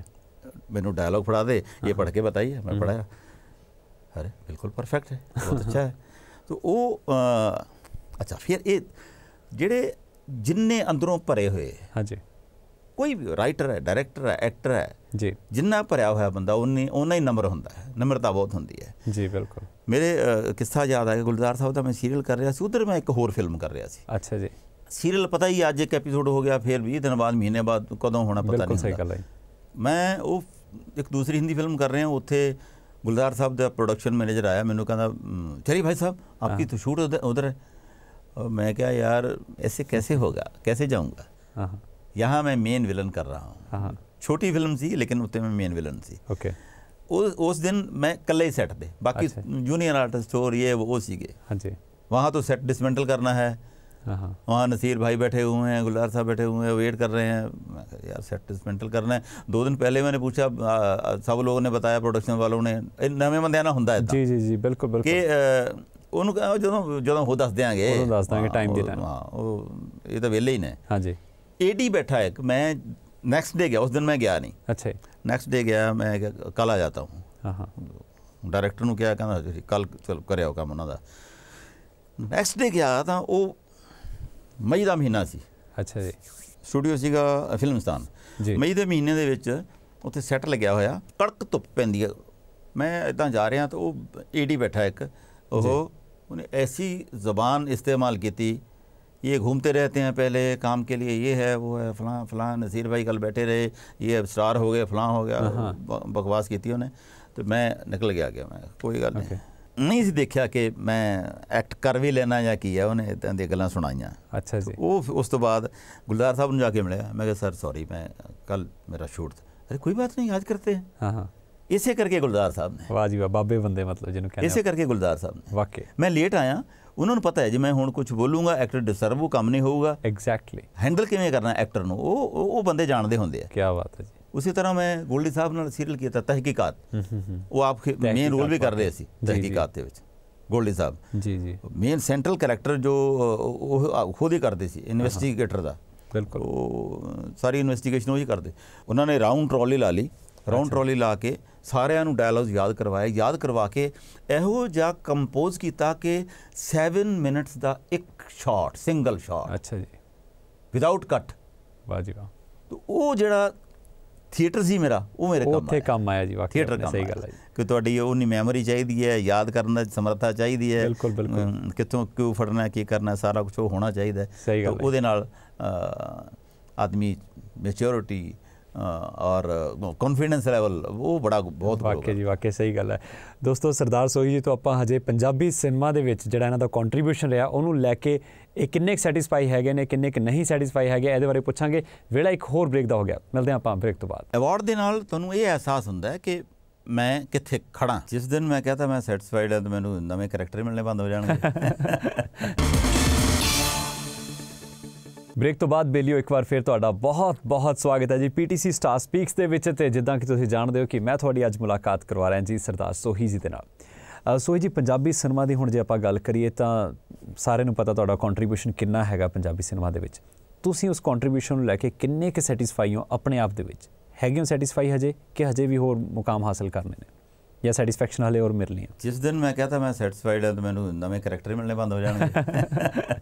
ਇਹ ਵੀ ਗੱਲ ਐਕਟਰ ਸਹੀ ਦੇ ਹੈ। ਅੰਦਰ ਹਮੇਸ਼ਾ ਇਹ ਭੁੱਖ ਰਹਿੰਦੀ ਹੈ ਕਿ ਮੈਨੂੰ ਕੁਝ ਹੋਰ ਚੈਲੰਜਿੰਗ ਮਿਲੇ। ਕਈ ਵਾਰੀ ਜਾ ਕੇ ਇੱਕ ਸਾਡੀ ਤਰਾਸਦੀ ਇਹ ਹੈ ਹਾਂਜੀ। ਕਿ ਇੱਕ ਕੈਰੈਕਟਰ 'ਚ ਅਸੀਂ ਵਧੀਆ ਪਰਫਾਰਮ ਕਰਕੇ ਜਾਂਦੇ ਆ ਫਿਰ ਸਾਨੂੰ ਉਸ ਫਰੇਮ 'ਚ ਰਾਈਟਰ ਵੀ ਡਾਇਰੈਕਟਰ ਵੀ ਸਾਰੇ ਬੰਨ ਲੈਂਦੇ ਨੇ। ਬਣ ਲੈਂਦੇ ਨੇ ਵਾਕਈ ਸਹੀ ਗੱਲ। ਉਹ ਬਹੁਤ ਖਰਾਬ ਹੈ ਸਾਡੇ ਵਾਸਤੇ। ਖਾਸ ਤੌਰ ਤੇ ਮੇਰੇ ਵਰਗੇ ਹੋਰ ਵੀ ਕਈ ਐਕਟਰ ਹੈਗੇ ਜਿਹੜੇ ਕੁਝ ਕਰਨਾ ਚਾਹੁੰਦੇ ਆ ਵਧੀਆ। ਹਾਂਜੀ। ਉਹ ਬੰਨੇ ਜਾਂਦੇ ਆ। ਬਿਲਕੁਲ। ਲੇਟੈਸਟ ਸੁਣੇ ਹੋਣੇ ਮਿਸਾਲ ਰਾਣਾ ਰਣਬੀਰ। ਹਾਂਜੀ। ਉਹਨੂੰ ਸਿਰਫ ਉਹ ਰਾਣਾ ਜੀ ਦੀ ਬੋਡੀ ਕਰਕੇ ਛੋਟੀ ਹਾਈਟ ਕਰਕੇ ਉਹਦੇ ਕਰਕੇ ਲੋਕਾਂ ਨੇ ਬੰਨ ਲਿਆ। ਇਹ ਕਾਮੇਡੀਅਨ ਹੈ। ਹਾਂਜੀ। ਰਾਣੇ ਨੇ ਹੁਣ ਇੱਕ ਪਲੇ ਕੀਤਾ ਖੇਤਾਂ ਦਾ ਪੁੱਤ। ਖੇਤਾਂ ਦਾ ਕਮਾਲ ਕਮਾਲ। ਰਾਣਾ ਵਰਸਟਾਈਲ ਐਕਟਰ ਹੈ। ਤਾਂ ਇਸ ਤਰ੍ਹਾਂ ਬਹੁਤ ਮਿਸਾਲਾਂ ਨੇ। ਤੋ ਇਸ ਸਾਨੂੰ ਅਸੀਂ ਕਈ ਵਾਰੀ ਉਹ ਫਰੇਮ 'ਚ ਵੱਧਦੇ ਜਾਂਦੇ ਆ। ਔਰ ਜਿਹੜੀ ਸੈਟੀਸਫੈਕਸ਼ਨ ਦੀ ਗੱਲ ਹੈ ਉਹ ਉਹ ਕਦੇ ਵੀ ਨਹੀਂ ਹੁੰਦੀ। ਜੀ। ਫਿਲਮ ਅਸੀਂ ਕਰ ਜਾਂਦੇ ਆ ਫਿਲਮ ਕਰਨ ਤੋਂ ਬਾਅਦ ਜਦੋਂ ਫਿਲਮ ਦੇਖਦੇ ਆ ਉਦੋਂ ਲੱਗਦਾ ਹੈ ਕਿ ਨਹੀਂ ਯਾਰ ਇਹ ਹੋਰ ਵਧੀਆ ਇਸ ਤਰ੍ਹਾਂ ਹੋ ਸਕਦਾ ਸੀ। ਬਿਲਕੁਲ ਸਹੀ। ਉਹ ਜੇ ਤੁਹਾਡੇ 'ਚ ਉਹ ਚੀਜ਼ ਨਹੀਂ ਹੈ ਨਾ ਤੁਹਾਨੂੰ ਇਹ ਨਹੀਂ ਲੱਗਦਾ ਉਹ ਪਾਰਖੂ ਅੱਖ ਨਹੀਂ ਹੈਗੀ ਤੁਹਾਡੀ ਆਪਣੀ ਖੁਦ ਦੀ। ਖੁਦ ਦੀ। ਐਕਟਰ ਦੀ ਤਾਂ ਇੰਨੀ ਪਾਰਖੂ ਅੱਖ ਹੋਣੀ ਚਾਹੀਦੀ ਹੈ ਕਿ ਜਦੋਂ ਅਸੀਂ ਐਕਟ ਕਰਦੇ ਹਾਂ ਇਨ ਫਰੰਟ ਆਫ ਕੈਮਰਾ ਬੈਠੇ ਹਾਂ ਹਾਂਜੀ। ਪਤਾ ਹੋਣਾ ਚਾਹੀਦਾ ਕਿ ਹੁਣ ਮੈਂ ਆਹ ਗੱਲ ਕਰ ਰਿਹਾ ਆਪਣੇ ਆਪ ਨੂੰ ਸਕਰੀਨ ਤੇ ਬਿਨਾਂ ਦੇਖੇ. ਦੇਖਣਾ ਚਾਹੀਦਾ ਬਿਨਾਂ। ਦੇਖੇ। ਤੁਹਾਡਾ ਜਿਹੜਾ ਇੱਥੋਂ ਇਹ ਦਿਮਾਗ ਖੋਪੜੀ ਪਿੱਛੇ। ਬਾਕੀ ਉਹ ਸਕਰੀਨ ਮੂਰੇ ਲੱਗਿਆ ਹੋਣਾ ਚਾਹੀਦਾ। ਹਾਂ ਉਹ ਉਹ ਤੁਹਾਨੂੰ ਦੱਸਦੀ ਹੈ ਕਿ ਮੇਰਾ ਹੁਣ ਇੰਪੈਕਟ ਕੀ ਪੈ ਰਿਹਾ ਹੈ। ਵਾਕਈ ਸਹੀ ਗੱਲ ਮੈਂ ਇੰਨਾ ਕਿੱਧਰ ਦੇਖਦਾ ਇੰਨੇ ਕੱਖ ਘਮਾਉਣਾ ਇੱਥੇ ਦੇਖਦਾ ਇਹਦਾ ਅਸਰ ਜ਼ਿਆਦਾ ਹੋਊ ਜਾਂ ਘੱਟ? ਸਹੀ ਇੰਨਾ ਕੁ ਮੁਲਾਂਕਣ ਖੁਦ ਆਪ- ਆਪਣੇ ਆਪ ਦਾ ਹੋ ਜਾਣਾ ਚਾਹੀਦਾ। ਜੀ। ਉਹ ਹੁੰਦਾ ਐਕਸਪੀਰੀਅੰਸ ਤੋਂ ਬਾਅਦ। ਵਾਹ ਜੀ ਉਹ ਹੈ। ਅਜੇ ਬਹੁਤ ਕੁਝ ਕਰਨਾ ਚਾਹਣਾ ਵਾਕਈ ਜੀ ਵਾਕਈ ਅੱਛਾ ਹਾਂਜੀ ਹਾਂ। ਯੰਗ ਮੁੰਡੇ ਵੀ ਸਾਰੇ ਜਿਹੜੇ ਹੁਣ ਫਿਲਮਾਂ 'ਚ ਆਪਣੇ ਕੰਮ ਕਰਦੇ ਆਲੇ ਦੁਆਲੇ ਉਹ ਸਾਰੇ ਉਹ ਕਹਿੰਦੇ ਨੇ ਨਹੀਂ ਬਾਬੇ ਤੁਸੀਂ ਅੱਜ ਬਹੁਤ ਕੰਮ ਕਰਨਾ। ਕਈ ਵਾਰੀ ਮੈਂ ਮਜ਼ਾਕ ਕਰ ਦਿੰਦਾ ਯਾਰ ਏਜ ਹੋ ਚੱਲੀ ਹੁਣ ਅ, ਮੁੰਡਿਓ ਤੁਹਾਡੇ ਸਿਰ ਤੇ ਆ ਹੁਣ ਅਸੀਂ ਤਾਂ ਤੁਸੀਂ ਸਾਡੀ ਲਾਠੀਆਂ ਹੈ। ਤੇ ਤੁਹਾਡੇ ਮੋਢੇ ਤੇ ਹੱਥ ਧਰ ਕੇ ਤੁਰਨਾ। ਕਰਨਾ ਨਹੀਂ ਤੁਸੀਂ ਫਿਜ਼ੀਕਲੀ ਫਿੱਟ ਹੋ ਅਜੇ ਅਜੇ ਮੋਢੇ ਤੇ ਹੱਥ। ਧਰਨ ਵਾਲੀ ਕੋਈ ਗੱਲ ਹੈ ਨਹੀਂ। ਇਹ ਸੱਚੀ ਗੱਲ ਹੈ ਜੀ ਹੋਰ ਕੀ। ਬਿਲਕੁਲ। ਅੱਛਾ ਇੱਕ ਹੋਰ ਗੱਲ ਹੈਗੀ ਹੈ ਤੁਸੀਂ ਪੀਡੀਸੀ ਪੰਜਾਬੀ ਫਿਲਮ ਅਵਾਰਡਸ ਵਿੱਚ 네ਗੇਟਿਵ ਰੋਲ ਕਰਨ ਦੇ ਲਈ ਅਵਾਰਡ ਜਿੱਤਿਆ। ਤੇ ਇਹ ਅਵਾਰਡਸ ਜਿਹੜੇ ਹੈਗੇ ਨੇ ਜਿੱਦਾਂ ਕਿ ਪੀਡੀਸੀ ਪੰਜਾਬੀ ਨੇ ਸ਼ੁਰੂਆਤ ਕੀਤੀ ਸੀਗੀ ਆਪਣੇ ਫਿਲਮ ਅਵਾਰਡਸ ਦੇ ਨਾਲ ਕਿੰਨੀ ਕੁ ਅਹਿਮੀਅਤ ਰੱਖਦੇ ਨੇ ਤੁਹਾਡੇ ਹਿਸਾਬ ਨਾਲ? ਤੇ ਜਦੋਂ ਤੁਹਾਨੂੰ ਅਵਾਰਡ ਮਿਲਿਆ ਉਸ ਤੋਂ ਬਾਅਦ ਤੁਸੀਂ ਆਪਣੇ ਆਪ 'ਚ ਕੀ ਚੇਂਜ ਫੀਲ ਕੀਤਾ ਜਾਂ ਕਿੰਨਾ ਹੌਸਲਾ ਮਿਲਿਆ ਉਹਦੇ ਨਾਲ? ਕੀ ਕਿੱਦਾਂ ਮਹਿਸੂਸ ਕਰਦੇ ਹੋ ਉਹਨੂੰ? ਅਵਾਰਡ ਦੀ ਆਪਣੀ ਥਾਂ ਤੇ ਅਹਿਮੀਅਤ ਹੈ ਪੈਸੇ ਦੀ ਆਪਣੀ ਥਾਂ ਤੇ ਹੈ। ਜੀ। ਅਵਾਰਡ ਦੇ ਨਾਲ ਤੁਹਾਨੂੰ ਇਹ ਅਹਿਸਾਸ ਹੁੰਦਾ ਹੈ ਕਿ ਮੈਂ ਕਿੱਥੇ ਖੜਾ ਹਾਂਜੀ। ਜਿਹੜੇ ਮੇਰੀ ਆ ਇੰਡਸਟਰੀ ਹੈ ਇਹ ਇਹ ਇਹ ਇੱਕ ਨਾਪ ਤੋਲ ਹੁੰਦੇ ਨੇ। ਫਲਾਣਾ ਐਕਟਰ ਵਧੀਆ ਹੈ ਫਲਾਣਾ ਹੈ ਫਲਾਣਾ ਦੀ ਇਹ ਰੇਂਜ ਹੈ ਇਹ ਰੇਂਜ ਹੈ। ਤੁਹਾਨੂੰ ਅਲੱਗ ਰਿਕਗਨੀਸ਼ਨ ਮਿਲਦੀ ਹੈ ਇੱਕ। ਹਾਂਜੀ। ਉਹ ਸੈਟੀਸਫੈਕਸ਼ਨ ਜਿਹੜੀ ਮਿਲਦੀ ਹੈ ਉਹ ਤੁਹਾਨੂੰ ਉਤਸ਼ਾਹ ਦਿੰਦੀ ਹੈ। ਰਾਈਟ ਹੋਰ ਵਧੀਆ ਕੰਮ ਕਰਨ ਦੀ। ਹੋਰ ਚੈਲੰਜ ਤੁਹਾਡੇ ਵਾਸਤੇ ਚੈਲੰਜ ਬਣਦਾ ਹੈ ਕਿ ਨਹੀਂ? ਹੁਣ ਮੈਂ ਜਿਹਦਾ ਪੀਟੀਸੀ ਅਵਾਰਡ ਪਹਿਲਾ ਹੋਇਆ 2011 ਚ। ਉਹਦੇ ਚ ਮੈਨੂੰ ਬੈਸਟ 네ਗੇਟਿਵ ਰੋਲ ਅਵਾਰਡ ਮਿਲਿਆ। ਬਿਲਕੁਲ ਉਸ ਤੋਂ ਬਾਅਦ ਮੈਂ ਹਰ ਸਾਲ ਦੱਬ ਕੇ ਮਿਹਨਤ ਕੀਤੀ ਹੈ। ਯਾਰ ਮੈਂ ਅਵਾਰਡ ਫੇਰ ਲੈਣਾ। ਹੈ। ਕੀ ਬਾਤ ਹੈ ਨਹੀਂ ਮਿਲਿਆ ਅਜੇ ਤੱਕ ਸ਼ਾਇਦ ਅੱਗੇ ਅੱਗੇ ਲਵਾਂਗੇ ਲਵਾਂਗੇ ਕੋਸ਼ਿਸ਼ ਕਰਾਂ ਕਰਦੇ ਹਾਂ ਹਰ ਵਾਰੀ ਕੋਸ਼ਿਸ਼ ਕਰਦੇ। ਹਾਂ। ਕਈ ਉਹ ਕਈ ਵਾਰ ਇਹ ਵੀ ਹੁੰਦਾ ਕਿ ਤੁਹਾਡੀ ਤੁਹਾਨੂੰ ਉਹੋ ਜੀ ਫਿਲਮ ਵੀ ਮਿਲਣੀ ਚਾਹੀਦੀ ਹੈ। ਉਹ- ਉਹ ਵੀ ਡਿਪੈਂਡ ਕਰਦਾ ਉਹੋ ਜਿਹਾ ਕਿਰਦਾਰ ਮਿਲਣਾ ਚਾਹੀਦਾ। ਵਾਕਿਆ ਸਹੀ ਗੱਲ ਹੈ ਲੇਕਿਨ ਕੋਸ਼ਿਸ਼ ਹਰ ਵਾਰੀ ਇਹ ਹੁੰਦੀ ਹੈ ਕਿ ਜਿਹੜਾ ਵੀ ਕਿਰਦਾਰ ਮਿਲਦਾ ਹੈ ਕਿ ਮੈਂ ਵਧੀਆ ਐਕਟ ਕਰਾਂ ਅਗਲੀ ਵਾਰੀ ਫੇਰ ਜਿਹੜੀ ਉਹ ਥੀਏਟਰ ਵੇਲੇ ਤਾੜੀਆਂ ਵੱਜਦੀਆਂ ਸੀ ਜਦੋਂ ਅਵਾਰਡ ਲੈ ਕੇ ਟਰੋਫੀ ਇਦਾਂ ਕਰੀ ਦੀ ਹੈ ਨਾ ਉਹ ਕਲੈਪਿੰਗ ਹੈ ਉਹਦਾ ਨਸ਼ਾ ਲੱਗ ਜੀ ਬਿਲਕੁਲ। ਅੱਛਾ ਤੇ ਜੇ 2015 ਦੀ ਹੁਣ ਆਪਾਂ ਗੱਲ ਕਰੀਏ ਫਿਰ ਤੋਂ ਪੀਟੀਸੀ ਪੰਜਾਬੀ ਫਿਲਮ ਅਵਾਰਡਸ ਆ ਰਹੇ ਨੇ। ਇਹਨਾਂ ਨੂੰ ਲੈ ਕੇ ਤੁਸੀਂ ਕੀ ਐਕਸਪੈਕਟੇਸ਼ਨ ਰੱਖ ਰਹੇ ਹੋ? ਫਿਲਮ ਅਵਾਰਡਸ ਦੇ ਦਾਇਰੇ ਨੂੰ ਲੈ ਕੇ ਇੱਕ ਲੈਵਲ ਨੂੰ ਲੈ ਕੇ ਵੀ ਤੇ 올 ਇਨ ਆਲ ਤੁਹਾਨੂੰ ਆਪਣੇ ਆਪ ਨੂੰ ਲੈ ਕੇ ਵੀ ਕੀ ਐਕਸਪੈਕਟੇਸ਼ਨ ਨੇ ਅਵਾਰਡਸ ਤੋਂ? ਮੈਂ ਇੱਕ ਦੋ ਵਾਰੀ ਉਸ ਤੋਂ ਬਾਅਦ ਵੀ ਫੰਕਸ਼ਨ ਅਟੈਂਡ ਕਰ ਚੁੱਕਿਆ। ਹਾਂਜੀ। ਦੂਸਰਿਆਂ ਨੇ ਅਵਾਰਡ ਖੁਦ ਲਿਆ ਸੀ ਫਿਰ ਦੂਸਰਿਆਂ ਨੇ ਅਵਾਰਡ ਦਿੱਤੇ ਆ। ਦਿੱਤੇ ਨੇ ਹਾਂਜੀ। ਪਹਿਲਾਂ ਨਾਲੋਂ ਬਹੁਤ ਵਧੀਆ ਹੋਇਆ ਗਰੋ ਹੋਇਆ। ਜੀ। ਵੱਡੀਆਂ ਵੱਡੀਆਂ ਹਿੰਦੀ ਇੰਡਸਟਰੀ ਦੀਆਂ ਪਰਸਨੈਲਿਟੀਜ਼ ਆ ਕੇ ਇੱਥੇ ਅਵਾਰਡ ਦਿੰਦੀਆਂ ਨੇ ਉਹਨਾਂ ਦੀ ਸ਼ਮੂਲੀਅਤ ਹੁੰਦੀ ਹੈ। ਔਰ ਸਾਡੇ ਵੀ ਜਿਹੜੇ ਦਰਸ਼ਕ ਨੇ ਉਹਨਾਂ ਨੂੰ ਐਂਟਰਟੇਨਮੈਂਟ ਦੇ ਨਾਲ ਨਾਲ ਇਹ ਵੀ ਹੁੰਦਾ ਕਿ ਸਾਡੀ ਇੰਡਸਟਰੀ ਵੀ ਗਰੋ ਕਰ ਰਹੀ ਹੈ ਬਿਲਕੁਲ ਸਹੀ ਗੱਲ ਹੈ ਜੀ ਸਾਡੀ ਇੰਡਸਟਰੀ 'ਚ ਕਿੱਥੋਂ ਸ਼ੁਰੂਆਤ ਹੋਈ ਸੀ। ਜੇ ਮੈਂ ਪਿੱਛੇ ਝਾਤ ਮਾਰਾਂ ਤਾਂ ਜਦੋਂ ਅਸੀਂ ਲੌਂਗ ਦਾ ਲਸ਼ਕਰਾ ਵਗੈਰਾ ਕੀਤੀਆਂ ਸੀ ਫਿਲਮਾਂ ਅਸੀਂ ਉਹ ਇੱਕ ਕਿੱਕਰ ਦੇ ਥੱਲੇ ਮੰਜੀ ਢਾ ਕੇ ਉੱਥੇ ਮੇਕਅਪ ਕਰਾ ਲੈਂਦੇ ਸੀ।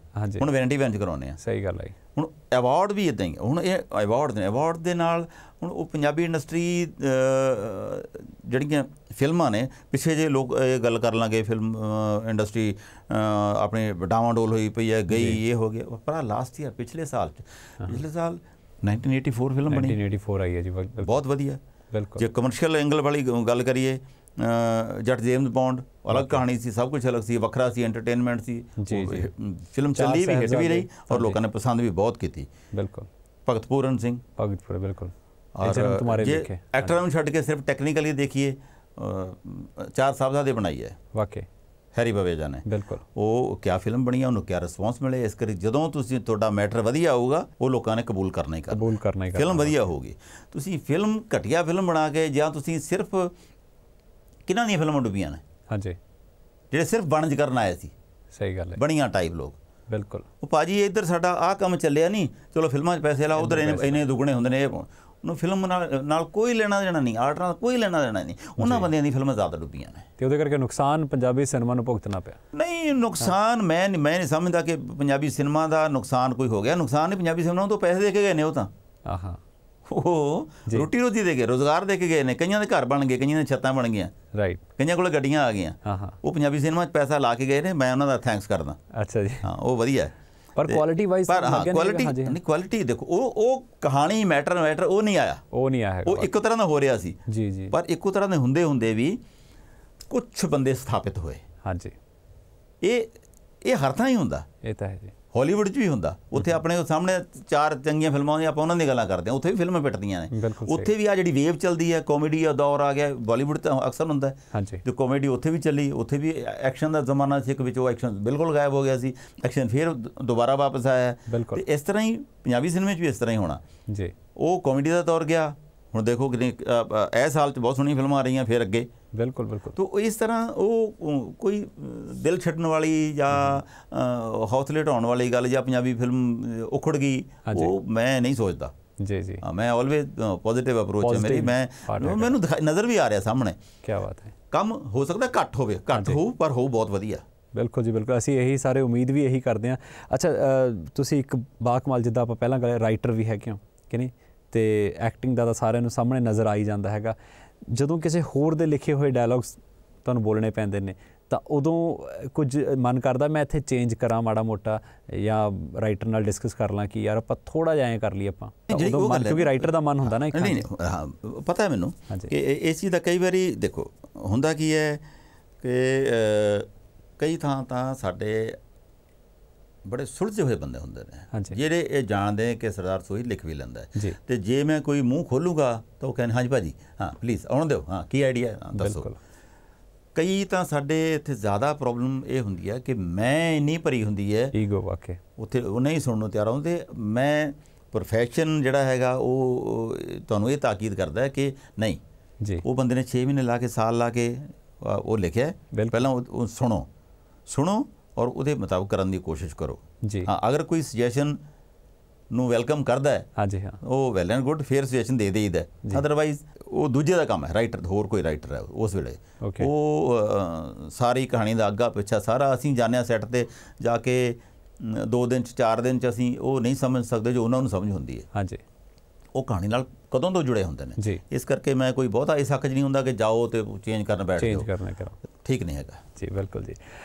ਦੋਸਤੋ ਸਰਦਾਰ ਸੋਹੀ ਜੀ ਨਾਲ ਫਿਲਮੀ ਆਪਾਂ ਗੱਲਾਂ ਬਹੁਤ ਕੀਤੀਆਂ ਨੇ ਪੰਜਾਬੀ ਸਿਨੇਮਾ ਨੂੰ ਲੈ ਕੇ ਵੀ ਬਹੁਤ ਸਾਰੀਆਂ ਗੱਲਾਂ ਕੀਤੀਆਂ ਥੀਏਟਰ ਨੂੰ ਲੈ ਕੇ ਵੀ ਗੱਲਾਂ ਕੀਤੀਆਂ ਨੇ। ਥੋੜਾ ਜਿਹਾ ਹੁਣ ਆਪਾਂ ਚਾਤੀ ਮਾਰਾਂਗੇ ਜੀ ਇਹਨਾਂ ਦੀ ਪਰਸਨਲ ਲਾਈਫ ਦੇ ਵਿੱਚ ਪਰ ਵੇਲਾ ਇੱਕ ਹੋਰ ਬ੍ਰੇਕ ਦਾ ਹੋ ਗਿਆ। ਸੋ ਮਿਲਦੇ ਆਪਾਂ ਬ੍ਰੇਕ ਤੋਂ ਬਾਅਦ। ਪਹਿਲੀ ਫਿਲਮ 'ਚ ਉਹਨਾਂ ਨੇ ਟਾਈਟਲ ਮੇਰਾ ਦਿੱਤਾ ਸੀ ਸਰਦਾਰ ਸੋਹੀ ਲੌਂਗ ਦਾ ਲਿਸ਼ਕਾਰਾ 'ਚ। ਉਸ ਤੋਂ ਬਾਅਦ ਫਿਰ ਮੈਨੂੰ ਵੀ ਸਾਊਂਡ ਸੋਹਣੀ ਲੱਗਣ ਲੱਗੀ। ਹਾਂ ਹਾਂ। ਹੁਣ ਤਾਂ ਕਦੇ ਕਦੇ ਮੈਂ ਵੀ ਭੁੱਲ ਜਾਣਾ ਕਿ ਮੈਂ ਪਰਮਜੀਤ ਹਾਂ। ਬਿਲਕੁਲ ਜੀ ਬਿਲਕੁਲ। ਮਿੱਤਰੋ ਬ੍ਰੇਕ ਤੋਂ ਬਾਅਦ ਇੱਕ ਵਾਰ ਫਿਰ ਤੁਹਾਡਾ ਬਹੁਤ ਬਹੁਤ ਸਵਾਗਤ ਹੈ ਜੀ ਪੀਟੀਸੀ ਸਟਾਰ ਸਪੀਕਸ ਦੇ ਵਿੱਚ ਤੇ ਅੱਜ ਆਪਾਂ ਮੁਲਾਕਾਤ ਕਰ ਰਹੇ ਹਾਂ ਸਰਦਾਰ ਸੋਹੀ ਜੀ ਦੇ ਨਾਲ। ਸੋ ਜੀ ਆਪਾਂ ਫਿਲਮੀ ਦੁਨੀਆ ਦੀ ਗੱਲ ਕੀਤੀ ਥੀਏਟਰ ਦੀ ਗੱਲ ਕੀਤੀ ਸਿਨੇਮਾ ਦੀ ਗੱਲ ਕੀਤੀ ਕਿ ਨਹੀਂ? ਤੇ ਪਰਸਨਲ ਲਾਈਫ ਵਿੱਚ ਜੇ ਆਪਾਂ ਤੁਹਾਡੇ ਬਾਰੇ ਜਾਣਨਾ ਚਾਹੋਗੇ ਸਭ ਤੋਂ ਪਹਿਲੀ ਗੱਲ ਤਾਂ ਹਰ ਪਾਸੇ ਤੁਹਾਡੀ ਸਰਦਾਰੀ ਹੈਗੀ ਹੈ। ਥੀਏਟਰ ਵਿੱਚ ਵੀ ਹੈਗੀ ਹੈ ਫਿਲਮੀ ਦੁਨੀਆ 'ਚ ਵੀ ਹੈਗੀ ਹੈ। ਤੇ ਇਹ ਜਿਹੜਾ ਸਰਦਾਰ ਸੋਹੀ ਨਾਮ ਆਇਆ ਇਹ ਕੀ ਸਰਦਾਰੀ ਕਰਕੇ ਆਇਆ? ਫਿਰ ਕਿੱਧਰੋਂ ਦੀ ਆਇਆ ਘੁੰਮ ਕੇ? ਨਹੀਂ ਨਹੀਂ ਨਹੀਂ। ਹਾਂਜੀ। ਇਹ ਅ, ਗੁਰੂ ਦੇਵ ਦੀ ਦੇਣ ਹੈ। ਟਿਵਾਣਾ ਸਾਹਿਬ ਦੀ। ਜਦੋਂ ਮੈਂ ਥੀਏਟਰ ਕਰਦਾ ਸੀ ਤਾਂ ਉਹਨਾਂ ਨੇ ਜਦੋਂ ਵੀ ਸਟੇਜ ਤੇ ਇੰਟਰੋਡਿਊਸ ਕਰਵਾਉਣਾ ਉਹ 2-4 ਸਾਲ ਬਾਅਦ ਇਹੋ ਜਿਹਾ ਪਹਿਲਾਂ ਦੱਸਿਆ ਮੈਂ ਮੁਕਾਮ ਇਹੋ ਜਿਹਾ ਬਣ ਗਿਆ ਉੱਤੇ ਉਹਨਾਂ ਨਾਲ ਪਿਆਰ ਸਤਿਕਾਰ ਵੀ ਵਧ ਗਿਆ ਉਹਨਾਂ ਨੂੰ ਲੱਗਿਆ ਵੀ ਕਿ ਇਹ ਮੇਰਾ ਐਕਟਰ ਵਧੀਆ। ਫਿਰ ਉਹ ਇੰਟਰੋਡਿਊਸ ਕਰਾਉਣ ਵੇਲੇ ਇਹ ਮੇਰਾ ਐਕਟਰਾਂ ਦਾ ਸਰਦਾਰ ਸਰਦਾਰ ਸੋਹੀ ਇਸ ਤਰ੍ਹਾਂ ਬਸ। ਐਕਚੁਅਲ ਨਾਮ ਮੇਰਾ ਪਰਮਜੀਤ ਸਿੰਘ ਹੈ। ਆਹਾ। ਪਰਮਜੀਤ ਤੋਂ ਸਰਦਾਰ ਉਹ ਹਰ ਹਰਪਾਲ ਟਿਵਾਣਾ ਜੀ ਨੇ ਬਣਾਇਆ। ਕਿਆ ਬਾਤ। ਪਹਿਲੀ ਫਿਲਮ 'ਚ ਉਹਨਾਂ ਨੇ ਟਾਈਟਲ ਮੇਰਾ ਦਿੱਤਾ ਸੀ। ਸਰਦਾਰ ਸੋਹੀ ਲੌਂਗ ਦਾ ਲਿਸ਼ਕਾਰਾ 'ਚ। ਉਸ ਤੋਂ ਬਾਅਦ ਫਿਰ ਮੈਨੂੰ ਵੀ ਸਾਊਂਡ ਸੋਹਣੀ ਲੱਗਣ ਲੱਗੀ। ਹੁਣ ਤਾਂ ਕਦੇ ਕਦੇ ਮੈਂ ਵੀ ਭੁੱਲ ਜਾਣਾ ਕਿ ਮੈਂ ਪਰਮਜੀਤ ਹਾਂ। ਬਿਲਕੁਲ ਜੀ ਬਿਲਕੁਲ ਸੇ ਹਾਂ ਸਾਰੀ ਦੁਨੀਆ ਹੁਣ ਸਰਦਾਰ ਸੋਹੀ ਦੇ ਨਾਂ ਨਾਲ ਤੁਹਾਨੂੰ ਜਾਣਦੀ ਹੈਗੀ ਆ। ਤੇ ਅੱਛਾ ਜਦੋਂ ਐਕਟਿੰਗ ਤੋਂ ਥੋੜਾ ਜਿਹਾ ਮਤਲਬ ਫ੍ਰੀ ਹੁੰਦੇ ਹੋ ਆਪਣੇ ਕੰਮਕਾਜਾਂ ਤੋਂ ਮਤਲਬ ਪ੍ਰੋਫੈਸ਼ਨਲੀ ਇਸ ਫੀਲਡ ਤੋਂ ਫ੍ਰੀ ਹੁੰਦੇ ਹੋ। ਉਦੋਂ ਫਿਰ ਕੀ ਕਰਨਾ ਪਸੰਦ ਕਰਦੇ ਹੋ? ਕਿੱਥੇ ਕਿੱਥੇ ਘੁੰਮਣਾ ਪਸੰਦ ਕਰਦੇ ਹੋ? ਮੈਂ ਜ਼ਿਆਦਾਤਰ ਇਕੱਲਾ ਰਹਿਣ ਵਾਲਾ ਬੰਦਾ। ਅੱਛਾ ਜੀ। ਇਕੱਲ ਇਕੱਲਾ ਬਹੁਤ ਚੰਗਾ ਲੱਗਦਾ ਮੈਨੂੰ। ਅਹ, ਰਿਸ਼ਤੇਦਾਰਾਂ ਦੇ ਭੈਣ ਭਰਾਵਾਂ ਨੂੰ ਮਿਲ ਲਿਆ। ਆਹਾ ਫਰੈਂਡ ਨੂੰ ਮਿਲ ਲਿਆ। ਜੀ। ਤੇ ਥੋੜਾ ਬਹੁਤ ਪੜ੍ਹ ਲਿਆ। ਆਹਾ। ਪੜ੍ਹਨ ਦਾ ਵੀ ਮੈਂ ਥੋੜਾ ਬਹੁਤ ਇਸ ਕਰਕੇ ਕਿਹਾ ਅਗਰ ਕਿਤਾਬ ਹੱਥ ਲੱਗ ਗਈ ਅੱਛਾ ਫਿਰ ਤਾਂ ਸ਼ੁਰੂ ਕੀਤੀ ਐਂਡ ਲਾ ਕੇ ਛੱਡੀ ਦੀ ਹੈ। ਅੱਛਾ ਜੀ। ਨਹੀਂ ਚੱਕੀ ਤੇ ਨਹੀਂ ਚੱਕੀ। ਕੀ ਬਾਤ ਤੋ ਇਸ ਤਰ੍ਹਾਂ ਦੀ ਨੇਚਰ ਦਾ ਮਸਤ ਮੌਲਾ ਮੈਂ ਕੋਈ ਜ਼ਿਆਦਾ ਕੋਸ਼ਿਸ਼ ਨਹੀਂ ਕਰਦਾ ਕਿ ਮੈਂ ਉਹ ਚੀਜ਼ ਵੀ ਪੜ੍ਹ ਲਾਂ ਭੱਜ ਕੇ ਉਹਨੂੰ ਵੀ ਮਿਲ ਲਾਂ ਉਹਨੂੰ ਵੀ ਕਰ ਲਾਂ। ਨਹੀਂ। ਰਿਲੈਕਸ ਰਿਲੈਕਸ ਰਿਲੈਕਸ ਰਹੀਦਾ ਔਰ ਥੋੜਾ ਜ਼ਿੰਦਗੀ ਨੂੰ ਜਾਣਨ ਦੀ ਕੋਸ਼ਿਸ਼ ਕਰਦੇ ਰਹੀਦੇ ਉਹਦੇ ਵਿੱਚੋਂ ਹੀ ਪਾਤਰ ਮਿਲਦੇ ਨੇ। ਵਾਹ ਜੀ। ਹੁਣ ਤੱਕ ਦੇ ਐਡੇ ਲੰਬੇ ਸਫ਼ਰ ਦੇ ਵਿੱਚ ਉਤਾਰ ਚੜਾਵ ਤੁਹਾਡੀ ਜ਼ਿੰਦਗੀ ਚ ਆਏ ਨੇ ਬਹੁਤ ਜ਼ਿਆਦਾ ਕਿ ਨਹੀਂ? ਸਭ ਤੋਂ ਯਾਦਗਾਰ ਪਲ ਕਿਹੜਾ ਰਿਹਾ? ਪਹਿਲਾਂ ਮੈਂ ਕਿਹਾ ਕਿ ਮੈਂ ਬੜਾ ਸੰਗਾਊ ਜਾ ਰਿਹਾ ਮੈਂ ਘੱਟ ਬੋਲਦਾ ਹੁੰਦਾ ਸੀ। ਹਾਂਜੀ। ਜਦੋਂ ਮੈਂ ਇਸ ਖੇਤਰ 'ਚ ਆਇਆ ਵੀ ਨਹੀਂ ਸੀ ਉਸ ਵੇਲੇ ਸਾਡੇ ਇਲਾਕੇ 'ਚ ਕਮਿਊਨਿਸਟ ਮੂਵਮੈਂਟ ਬੜੀ ਹਾਵੀ ਹੁੰਦੀ ਸੀ। ਜੀ। ਸਾਡੇ ਘਰ ਸਾਡੇ ਵਿਹੜੇ 'ਚ ਕਮਿਊਨਿਸਟ ਜਿਹੜੇ ਕਲਾਕਾਰ ਹੁੰਦੇ ਸੀ ਉਹਨਾਂ ਦੀਆਂ ਤੂੰਬੀਆਂ ਵੱਜਦੀਆਂ ਹੁੰਦੀਆਂ ਸੀ। ਅੱਛਾ ਜੀ। ਹਾਂ ਉੱਥੇ ਸਾਡੇ ਇਲਾਕੇ ਤੋਂ ਜਲਾਲਦੀ ਵਾਲਾ ਇੱਕ ਬਰਨਾਲਾ ਰਾਏਕੋਟ ਰੋਡ ਤੇ ਪਿੰਡ ਉੱਥੋਂ ਦੇ ਹਿੰਦੂ ਕੁਮਾਰ ਹੁੰਦੇ ਸੀ। ਜੀ। ਦਲੀਪ ਸਿੰਘ ਮਸਤ। ਉਹ ਬਹੁਤ ਵਧੀਆ ਕਲਾਕਾਰ ਸੀ। ਕਮਿਊਨਿਸਟ ਮੂਵਮੈਂਟ ਦੀ ਨਕਸਲਾਈਟ ਮੂਵਮੈਂਟ ਵਿੱਚ ਉਹ ਅੰਡਰਗਰਾਉਂਡ ਰਹੇ ਸੀ ਕਿਉਂ ਉਦੋਂ ਨਕਸਲਾਈਟ ਮੂਵਮੈਂਟ ਵੇਲੇ ਬਹੁਤ ਬੰਦੇ ਪੰਜਾਬ 'ਚ ਮਾਰੇ ਗਏ ਸੀਗੇ। ਹਾਂਜੀ। ਜਸਵੰਤ ਸਿੰਘ ਕਮਲ ਉਹਨਾਂ ਨੇ ਆਪਣੇ ਇੱਕ ਨਾਵਲ 'ਚ ਉਹਨਾਂ ਦਾ ਜ਼ਿਕਰ ਵੀ ਕੀਤਾ ਦਲੀਪ ਸਿੰਘ ਮਸਤ ਦਾ. ਉਹ ਸਾਡੇ ਵਿਹੜੇ 'ਚ ਨਾਟਕ ਕਰਦੇ ਹੁੰਦੇ ਸੀ ਬਚਪਨ ਤੋਂ ਸੁਣਦੇ ਸੀ। ਮੇਰੇ ਤੇ ਮੈਨੂੰ ਬਹੁਤ ਚੰਗਾ ਲੱਗਦਾ ਸੀ ਉਹ। ਲੱਗਦਾ ਸੀ ਇਹ ਇਹ ਆਹ ਬੰਦਾ ਸਾਡੇ ਨਾਲ ਬੈਠਾ ਗੱਲਾਂ ਕਰਦਾ ਜਦੋਂ ਸਟੇਜ ਤੇ ਜਾਂਦਾ ਇਹ ਕਦੇ ਘਗਰੀ 'ਚ ਪਾ ਕੇ ਉਹ ਜਿਹੜੇ ਤਕਲੇ ਖੁਰਚੜੇ ਕਰਾ ਲਓ ਤਸਲਿਆਂ ਨੂੰ ਥੱਲੇ ਲਵਾ ਲਓ ਉਹ ਰੋਲ ਕਰਦਾ ਕਰਦਾ ਵਿੱਚ ਪੋਲੀਟੀਸ਼ੀਅਨ ਬਣ ਜਾਂਦਾ ਕੈਪ ਜੀ ਲੈ ਕੇ ਕਾਂਗਰਸ ਦੀ ਅਸੀਂ ਤੇ ਅਸੀਂ ਕਰਦੇ ਹੁੰਦੇ ਸੀ ਉਸ ਵੇਲੇ ਕਾਮਰੇਡ। ਹਾਂਜੀ। ਤੇ ਉਹ ਪਾਤਰ ਇਸ ਤਰ੍ਹਾਂ ਫਟਾਫਟ ਦੂਸਰੇ ਬੱਚੇ ਦੇ ਮਨ ਤੇ ਬੜਾ ਪ੍ਰਭਾਵ ਪੈਂਦਾ ਸੀ ਮੈਨੂੰ ਬੜਾ ਅੱਛਾ ਲੱਗਦਾ ਸੀ। ਇਹ ਕੰਮ ਬਹੁਤ ਵਧੀਆ ਹੈ। ਹਾਂਜੀ। ਸ਼ਾਇਦ ਉਹਨਾਂ ਦਾ ਵੀ ਕੁਝ ਅਸਰ ਥੋੜਾ ਜਿਹਾ ਹੈਗਾ ਸੀ ਮੇਰੇ। ਤੇ। ਉਹ ਮੈਂ ਆਇਆ ਮੁੜ ਕੇ ਉੱਥੋਂ ਹੀ ਕਿ ਜਿਹੜੀ ਮੈਂ ਗੱਲ ਕੀ ਮੈਂ ਸੰਗਾਊ ਸੀ। ਅਕਸਰ ਘਰ ਕਹਿੰਦੇ ਹੁੰਦੇ ਜਦੋਂ ਮੈਂ ਐਕਟਰ ਬਣ ਨਿਕਲਿਆ ਬੰਬੇ ਵੀ ਗਿਆ ਯਾਰ ਉਹ ਮੁੰਡਾ ਚੁੱਪ ਜਾ ਰਹਿੰਦਾ ਸੀ ਬੋਲਦਾ ਤਾਂ ਬਹੁਤ ਘੱਟ ਹੈ ਐਵੇਂ ਹੀ ਹੈ ਉਹ ਉਹ ਕਿੱਥੋਂ ਐਕਟਰ ਬਣ ਜੂ? ਉਹ ਚੁਸਤ ਚਲਾ ਗੱਲਾਂ ਮਾਰਨੀਆਂ ਉਹ ਤਾਂ ਉਹਦੇ ਸੁਭਾਅ 'ਚ ਹੈ ਹੀ ਨਹੀਂ। ਹਾਂਜੀ ਜਦੋਂ ਫਿਲਮ ਲੌਂਗ ਦਾ ਲਿਸ਼ਕਾਰਾ ਰਿਲੀਜ਼ ਹੋਈ ਜੀ। ਮੈਂ ਪਾਪਾ ਜੀ ਨੂੰ ਕਿਹਾ ਕਿ ਉਹ ਮੈਂ ਉਹਨਾਂ ਨੂੰ ਮਾਮਾ ਜੀ ਕਹਿੰਦਾ ਸੀ ਮੈਂ ਮਸਤ ਮਾਮਾ ਨੂੰ ਨਾਲ ਲੈ ਕੇ ਆਇਆ ਹਾਂ ਉਹ ਲੁਧਿਆਣੇ ਫਿਲਮ ਦੇਖਣ ਆਏ। ਅੱਛਾ ਜੀ। ਫਿਲਮ ਦੇਖੀ। ਫਿਲਮ ਦੇਖਣ ਤੋਂ ਬਾਅਦ ਉਹ ਬੜੇ ਭਾਰੇ ਸਰੀਰ ਦੇ ਬੜੀ ਆਵਾਜ਼ ਖੁੱਲੀ ਮਾਲਕ ਸੀਗੇ ਉਹ। ਜਦੋਂ ਫਿਲਮ ਦੇਖ ਕੇ ਮੈਨੂੰ ਬਾਹਰ ਨਿਕਲੇ ਜਫੀ ਪਾਈ ਘੁੱਟ ਕੇ ਜਫੀ ਪਾ ਕੇ ਉਹ ਬਈ ਤੂੰ ਤਾਂ ਕੁਝ ਹੋਰ ਹੀ ਨਿਕਲਿਆ। ਅੱਛਾ ਜੀ ਵਾਹ ਜੀ ਵਾਹ? ਮੈਨੂੰ ਨਹੀਂ ਸੀ ਉਮੀਦ। ਵੀ ਤੂੰ ਇਹੋ ਜਿਹਾ ਐਕਟਰ ਹੋਏਗਾ। ਪਾਪਾ ਫਿਰ ਰੋ ਪਏ।